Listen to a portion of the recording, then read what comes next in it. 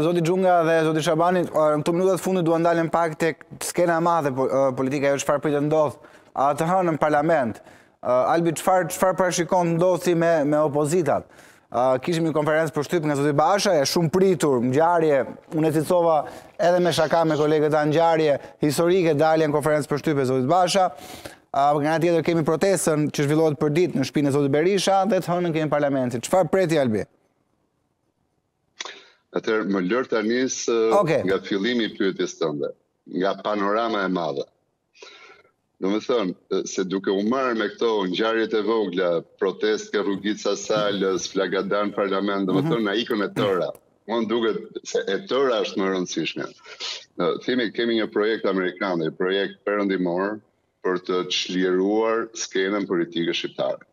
Për ta çliruar skenën politike shqiptare me anë të drejtësisë. Mm -hmm. Dhe kjo nuk është e padrejtë, ha? Kjo është, kjo do të bëhet brenda kuadrit ligjor. Domethënë, politikanët që kanë abuzuar, do duhet të japin llogari dhe skena politike shqiptare do të çlirohet. Ky është plani dhe kjo do të ndodhë. Domethënë, ne tani jemi në showtime, kjo ka filluar dhe po ndodh. Po Edi Ramës janë rrëzuar bashkëpunëtorë, i tërë skalioni i parë i, i Rilindjes ka probleme, është ose në hetim, ose në gjykim, ose i dënuar, ose në kërkim. Goditja ka filluar në krahun, krahun e djathtë të skakierës politike, me liderin historik të Partisë Demokratike Sali mhm. Berishën, domethënë, po pastrohet skena politike shqiptare, dhe mbas kësaj vale të madhe të drejtësisë, sepse shumë krahasime bëhen me vende të tjera, që ndonjëherë janë krahasime të drejta, po jo, jo të mjaftueshme, sepse, në dijeninë time edhe unë kam folur me ekspertë, reforma në drejtësi në Shqipëri është aq e thellë, aq e fortë, sa është e pakrahasueshme me reformat e tjera, të mhm. ish-vendeve të Lindjes, si Kroacia, Rumania, e tjera, e tjera. Domethënë mund të jemi shumë të sigurt që kjo reformë do ta çlirojë skenën politike shqiptare që nesër Zoti Shabani të konkurrojë me mhm. ofertë politike. Mos konkurrojë me oferta të paligjshme për punësim në administratë e tjera e tjera, gjëra që i thamë domethënë të të mos i përsërisim. Kjo do të ndodhë dhe për këtë mund të jemi shumë, shumë, shumë të sigurt. Duhet të kemi parasysh dhe një gjë, Thimi, Në të gjitha parajsat fiskale të botës, ku mund të kesh llogari offshore, nuk ka një të vetme ku nuk kanë akses Shtetet e Bashkuara të Amerikës. Mos u çudisni okay. që në fazën e dytë të goditjes penale të kemi dhe zbulim të llogarive offshore të miliardave të korrupsionit shqiptar.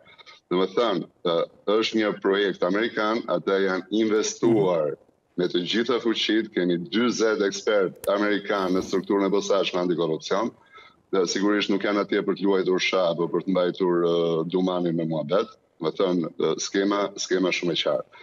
Vijmë tashmë tek ngjarjet aktuale.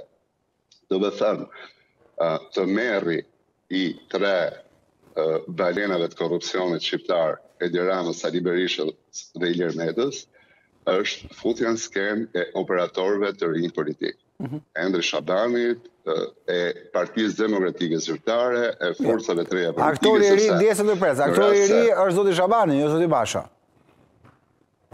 Po bërë po, është aktori i ri them, sepse... Po, zoti Basha jo. Zoti Basha, Të të kundërshtoj. Po, po, zoti Basha është një, është një, po ti më kundërshton, unë do ta jap argumentin okay. tim. Zoti Lulzim Basha është një operator i ri politik, sepse Zoti Lulzim Basha me gjithë postet ministrore është një politikan që nuk ka pasur kurrë pushtet real. Domethënë, qoftë se ju do më thoni që mhm. ministri ka pushtet real në Shqipëri, atëherë do duhet të pranojmë që zonja Ibrahimi ose zonja Kripsa janë njerëz me pushtet sot në Shqipëri, por nuk mhm. besoj se është kështu. Domethënë, edhe në vende kur demokracia funksionon, duhet kemi parasysh që arkitekti dhe pushtetmbajtësi është kryeministri. Ministri është inxhinier zbatues. Kryeministri është një pushtet që buron nga vota popullore. Domethënë, populli voton parlamentin, parlamenti voton kryeministrin. Ministri është një pushtet i emëruar. Kryeministri e ka më të vështirë të heqë nga puna një pastruese të kryeministrisë, sesa një ministër. Pastruesja ka një kontratë, të cilën duhet t'ia respektosh. Një ministër hiqet hiqet nga puna me një firmë. Domethënë, në atë sekundë që kryeministri nuk do që ai të jetë më ministër, ai nuk është më ministër. Ky, ky, domethënë, ky skenar ka vetëm një përjashtim, kur ministri në fjalë vjen nga një parti koalicioni, largimi i cilit mund të prishte koalicionin dhe të rrëzonte mazhorancën, ne kemi pasur në Shqipëri për shembull një ministër të LSI-së që tallej hapazi me me Edi Rama. Dhe Edi Rama për momentin s'kishte s'kishte ç't'i bënte derisa ia mori Ilir Metës ushtarët, domethënë, por kjo është një një temë tjetër që nuk hyn në në në temën tonë. Atëherë, Partia Demokratike Zyrtare them, duke qenë një forcë politike me njerëz të pastër politikisht, në të cilën nuk ka kandidat për podiumin e spak, me njerëz që nuk kanë mëkate të, të së shkuarës, me njerëz të cilët janë të aftë të bëjnë propozime politike, hajde na hetoni pasurinë, domethënë të hetojmë pasurinë e politikanëve dhe zoti Basha thotë duke nisur nga unë, sepse këtu domethënë për të kuptuar rëndësinë e kësaj hetimi, duhet të kemi parasysh se për, për krimet, korrupsionin që kanë ndodhur në vite në Shqipëri, domethënë për shumë vepra penale janë tejkaluar afatet. Ndërkohë që ky propozim i zotit Basha, a, synon të ndëshkojë dhe ata politikanë të cilët ligjërisht është shumë e vështirë për të mos thënë e pamundur t'i godasësh sot. A, një, një veting, domethënë, siç u bë për gjyqtarët dhe për prokurorët, vetohet pasuria e politikanëve. Dhe kjo nuk është një gjë kaq e tmerrshme, pretendojnë që janë figura me moral të pastër, që kanë pasuri të ndershme, t'u mhm. verifikohet, ë kaq kaq e thjeshtë është historia. Domethënë, në, në, në, në, këtë, në këtë sens, partia demokratike zyrtare okay. është një operator i ri politik bashkë me zotin Basha.